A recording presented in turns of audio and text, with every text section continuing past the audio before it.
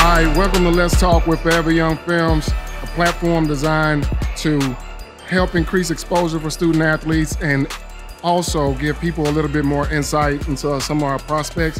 Today we got a guy that's been shooting lights out named Trevor Frank. Trevor, won't you get us started by giving us your full name, your school, your graduating class, and your GPA? What's up, y'all? My name is Trevor Frank, and I go to Paetow High School, class of 22, and I have a 3.3 GPA. All right, so Trevor, AAU season is wrapping up now. Um, you had a great couple of weeks with the live period, and I've seen you progress over the summer. So, what are some of the things that you wanted to focus in on and work on over the course of the season to help round out your game?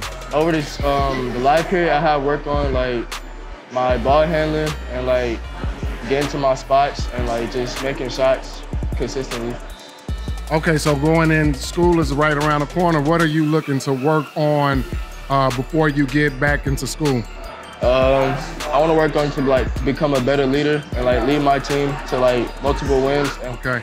And like I said, you've had a really good stretch here and probably the most important time of the year, the three live periods as well as the live period at the TABC. Uh, you played really, really well. So, any college coaches that uh, may be pursuing you, what are some of the things you're looking for in a college that'll help you narrow down your decisions? Um, I'm looking for a college that's gonna like let me like play my style of game and like give me a good education and like get me to the next level after college. Okay, so um, what can college programs expect for you? What are they getting when they put Trevor Frank on their roster? Um, they gonna be they gonna get a good leader and like a guy that's have like good energy and like a good locker room guy and like a guy that's gonna like be ready to play every single game. Okay, so clearly you're in the gym a lot and you're working on your game a lot. Um, give us something that you like to do outside of school, outside of basketball, when you're just when you got some me time. What what is Trevor Frank doing during his me time? Uh, during that time, I like to spend time with my family because that's all like that's like all I got basically. And, yeah. So now, I I believe this will be your last year needing to play AAU.